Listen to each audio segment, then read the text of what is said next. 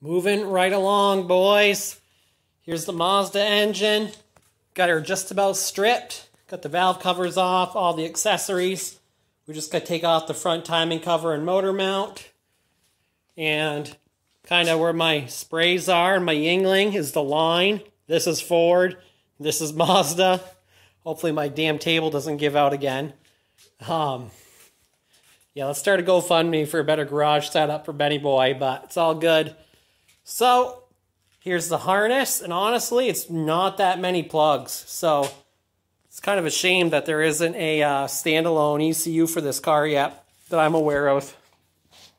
I've heard that's in part of the, um, or due to the immobilizer in the cluster or something like that, but I'll have to look into what ECU options are available. Wait, wait, never mind. I don't need any of that because this is just my daily driver. That's right. Never mind. But anyhow, Got the harnesses out, starting to move some stuff over.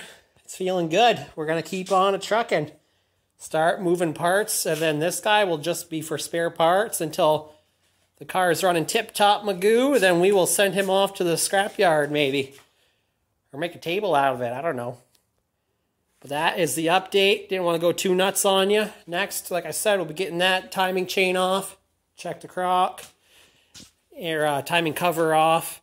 Moving it over, Squirt Smart TV, and we will be styling. All right. All right, got the timing cover off, and I think I see what happened. So, you can't really see it with the naked eye, but like we figured, the tensioner seems to have failed. So if I jump on this chain here, this, I can just easily move it by hand. So extrapolate that when this engine's running that's what's going on in there enough to where the um, the cam slipped. So if I go over to the other side of the engine with the tensioner that has not failed, look at this. I literally can't squeeze it, even if I tried. We're on this side again. So safe to say that's what happened, and that is the side where we found the broken rockers. So yeah, I think that's what happened, boys. Um, we're doing it. We're doing good here. We got to switch over a couple things. I don't know if I have to switch over this reluctor wheel. All I know is I'm not even supposed to touch it, but according to the guide, I have to switch it over. So I'm going to go ahead and just switch this guy over with that one. Um, and then I'm going to switch over, you know, you get the corresponding sensors.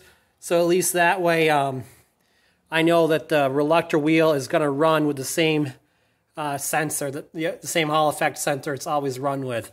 So that'll be a little peace of mind at a minimum. I gotta look up top here. Yeah, I don't think I'm gonna, yeah, I'm obviously not gonna mess with these, but those, um, the new cam sensors will come with that timing cover. So now basically we're just gonna switch over the reluctor wheel, like I said, and then we're gonna peel out the old gasket, clean this up in good shape, and slap it on over there. All right, update boys. Got the valve covers switched over, all new gaskets and some goop.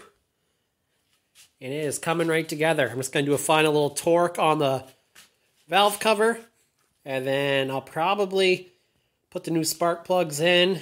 Or I might wait on that and just switch switch right over to putting the accessories on. But we're getting closer and closer because once we put the plugs the accessories on, and then we only need to put on the intake manifold and then the headers. Update, valve covers are on, harmonic uh, balancer or damper from the other motor is on. These motors are kind of just becoming one now, but this is the Ford motor with the Mazda parts on it. And one of the things you have to do before you put your power steering pump back on and whatnot, it's easier to get to, Right there is the oil sender. So this guy tells you, tells the dash if you have um, oil pressure or not. So apparently the one on the Ford engine is backwards, like polarity, to the uh, Mazda one. So basically, when you have oil pressure, it'll tell you you do not. So we're going to go ahead. That takes a 21 millimeter deep socket. We're going to go ahead and take that off and grab the oil sender from this engine. And then we will continue putting our accessories on, and I think that will be it for tonight.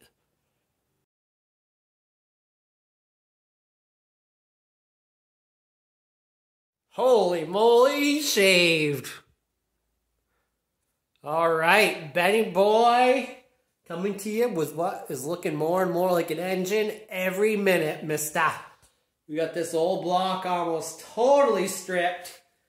And up here, what used to be mostly Ford is now mostly Mazda on the outside. So I got the valve covers, got all the accessories put back on. We're friggin' styling, mister.